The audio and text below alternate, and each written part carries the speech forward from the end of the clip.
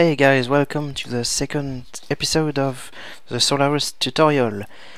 Um, today we are gonna try to obtain a first map that can be played. So, um, first of all, I made two shortcuts, uh, like you see. This one to run the game. So this is the first game, uh, the first quest created by the editor. I removed uh, what we did in the first episode.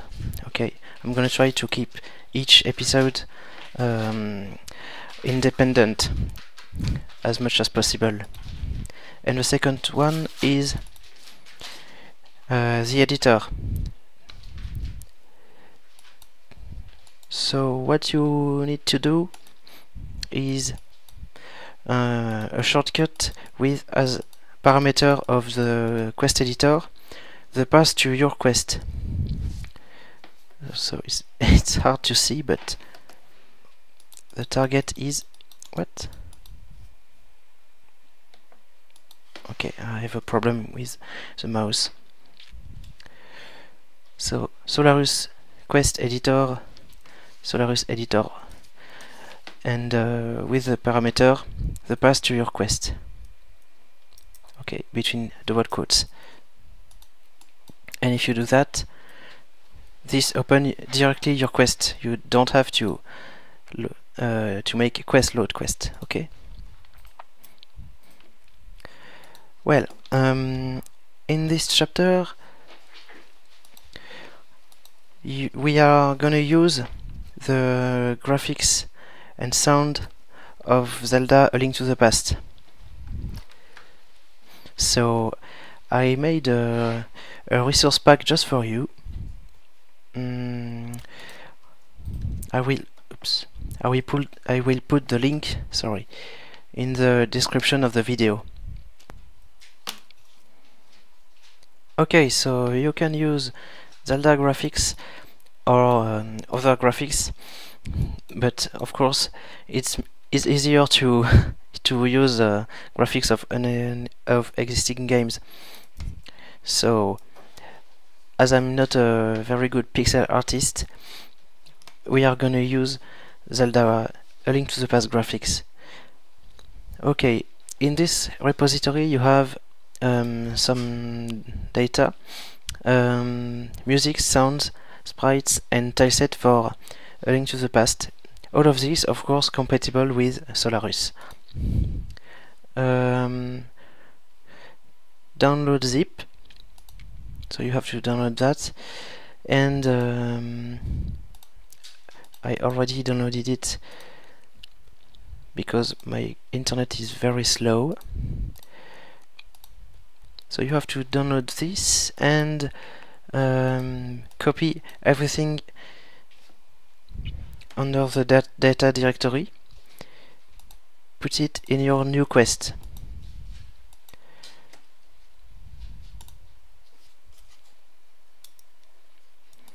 Okay, and now you have a, a new um, your quest with a lot of resources. If you open the editor, you have a lot of sp sprites from A Link to the Past. Uh, okay, when you open a sprite with Solarus uh, um, 1.2 or or below, um, there is no graphical editor yet.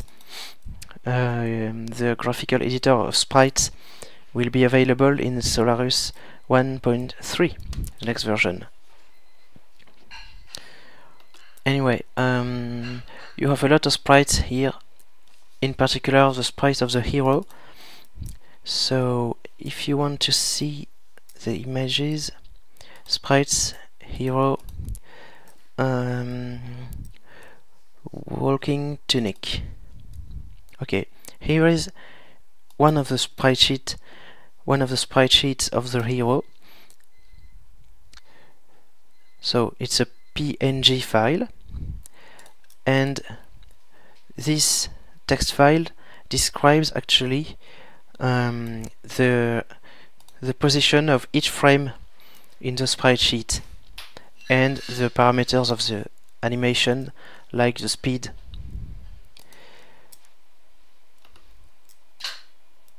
okay and now that you have a valid hero sprite you can play the uh, you can start a game and play. You also have some musics sounds um, you have all musics of A Link to the Past here and a lot of sounds.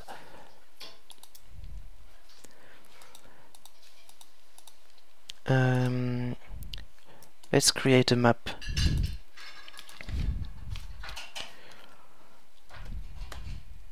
Chapter 2 will be the file name.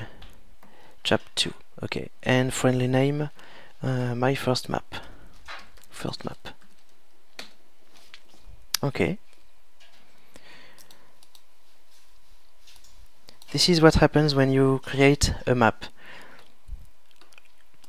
you, you can set the name again here the size um, some other properties um, and an important property is the tileset light world.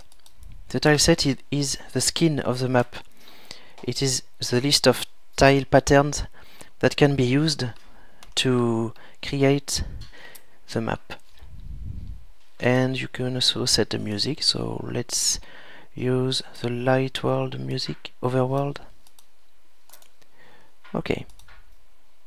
We can already save our map so this is the tile set. You can modify it by double clicking on its name here. You can also do that uh, with this icon here. You can modify your tile set, create new patterns or change their properties and then get back to your map click on this button reload tileset to see the changes. So there are a lot of tiles in the light world. All sorts of all sorts of tiles. Tiles can have any size. For example, this tree here is um, 32 by 32. Um, this flower or, or this grass is 16 by 16 the minimum size is 8 by 8 like maybe this one. And all sprites must have um, I mean the size of all tiles must be a multiple of 8 by 8 there are also animated tiles like the flower here it's a single tile but it has three frames you can uh, choose the animation properties of tiles here. Tiles also have, more importantly, uh, the ground, uh, ground property. This one is a full obstacle. They can be traversable and a lot of other things like water, hole, ice, etc. You can use the tileset editor here to create tiles and change their properties. We will do that in uh, in future um, future tutorials but for now we will only use this existing tileset okay so here is the first map. Let's pick some trees here so you click on the tile you want to use. It appears under your uh, your cursor. And you click again left click and the tile is placed. Okay. You can also place several times um, with a right, uh, right click right click right click right click also if you keep your mouse pressed you can repeat the pattern. And if you do that this is only one tile.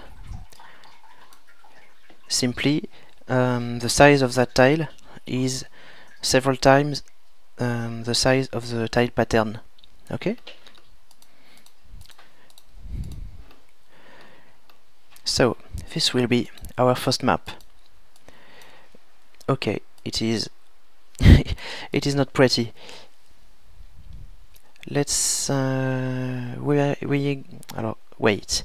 If I run the game here nothing happens because um, my main script does not run a game. So let's modify that. Main okay. When the Solarus logo is finished um, let's play the game. First um, we oh there's one more thing. To use the game system you have to uncomment this line in in quest dot dat right there. And choose the name of the directory where save games will be stored.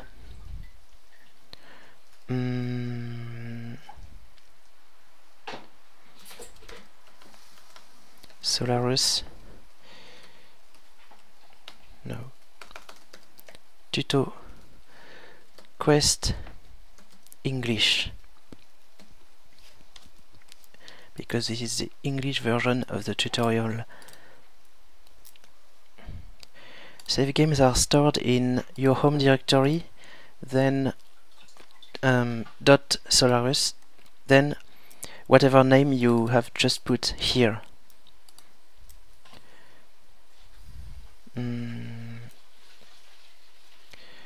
okay let's try to load the save game. First does it exist? There's a function sol.game.exist that takes a file name as parameter. Let's call it let's call it save one. Then we create a game um, actually we create the game. It might maybe it already existed or maybe it will be a new game. But if it is a new game so if not exists then um, we have to initialize the save game for the first time and tell that we want to start in this map chap 2 if you read the documentation you can do that with game set starting location and the name the name of the map. Of the map file.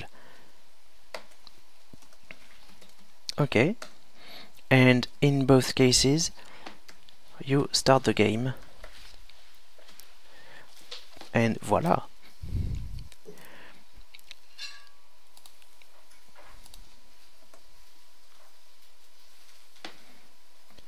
so it's not working. Maybe I, I did something wrong.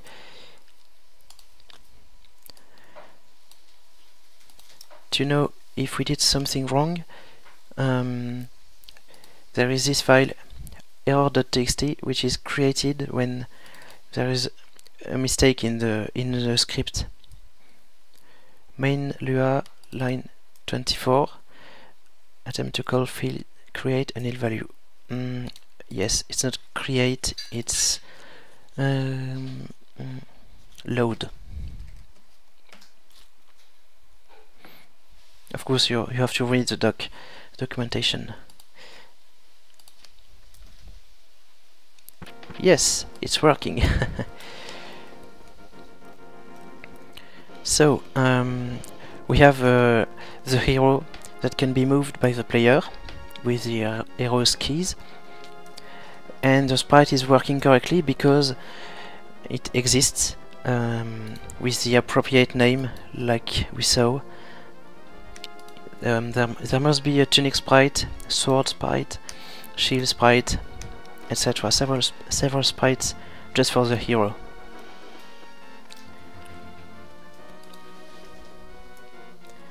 Okay. Mm. Also, as you saw, um, the map the hero was placed in the top left corner of the map initially because we we did not tell uh, exactly where we wanted to start on the on this map. To do that you can use the uh, destination object and place the destination uh, where you want, like here.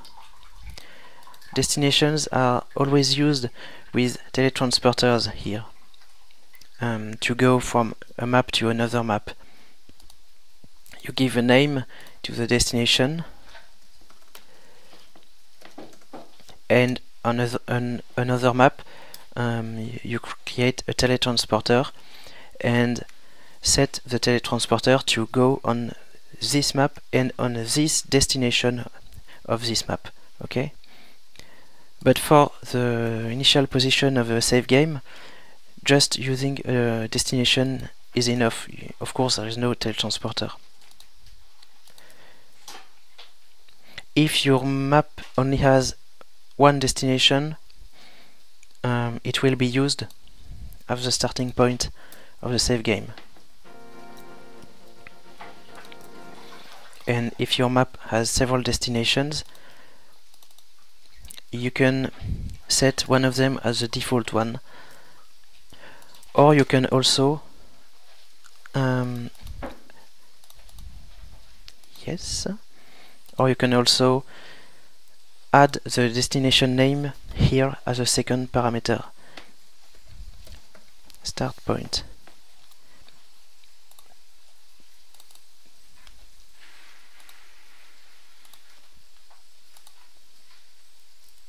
Okay, it's still working, great.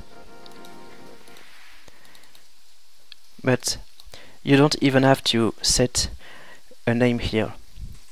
Just create a destination, set it at the default one if you have several destinations, and you won't even need the name. Oh, no, it won't work here because yes, no such destination start point.